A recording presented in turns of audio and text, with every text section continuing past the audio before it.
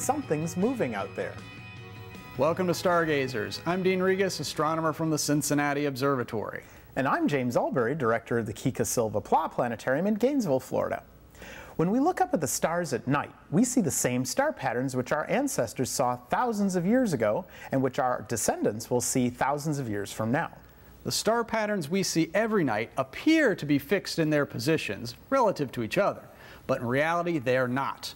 In fact, all of the stars we see are moving at incredible speeds throughout space in every conceivable direction. But because they're also so incredibly far away, it takes many generations to notice even small changes in their positions, except for a couple of them. But there are a few of those lights of the night that move really fast in comparison to the stars. Their name, planet, comes from the Greek word for wanderer. They appear to be rapidly wandering stars. Let's take a look at three of these wandering stars in our evening sky. Let's start by looking west after sunset next week. And even before the sky is darkened enough to see any stars, two bright points of light will appear. The first to appear is the planet Venus. It's actually visible in the daytime if you know where to look.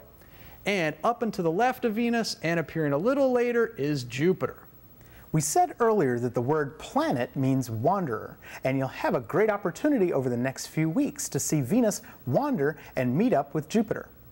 Let's skip ahead a week at a time and see. May 18th, May 25th, there's the moon.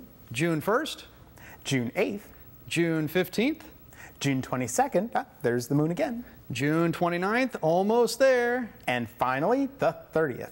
That's a super scoochie. Don't miss it. Let's go another week and Venus is leaving Jupiter behind. notice that the surrounding stars have been staying in formation and only Jupiter and Venus have moved. Jupiter hasn't moved much at all. Let's go back to the skies next week. Venus is now well to the right of Jupiter, but it will soon pass it. Let's find that third bright planet, but we'll have to turn to the east to spot it. We're now facing east, same time, same date, and low on the horizon is a yellowish point of light. You may notice that it doesn't twinkle like the other stars. It's the planet Saturn, and Saturn is the slowest of the planets we can see with the naked eye.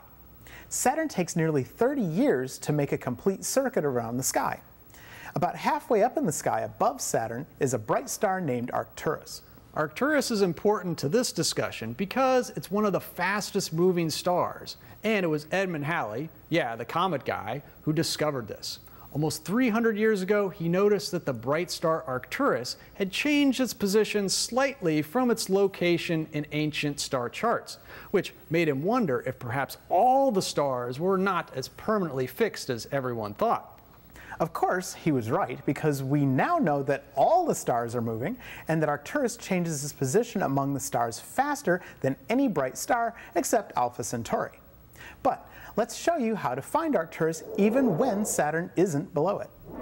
Go outside any clear evening this spring, look north for the Big Dipper, then use it as a guide because to find Arcturus, all you need to do is shoot a line through the handle of the Big Dipper, and that line will land on Arcturus, the brightest star in the constellation Boötes the Herdsman.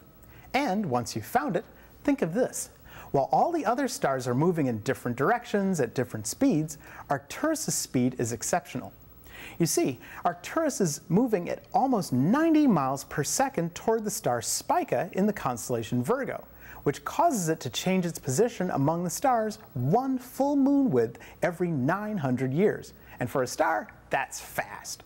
So, watch the skies over the next few weeks and see Venus catch up with Jupiter and pass it. And watch the skies over the next 70,000 years and watch Arcturus zoom across the sky and catch up with Spica and pass it. Uh, what? Oh, I forgot. You can't do that. So, you'll just have to watch our simulation as you keep looking up.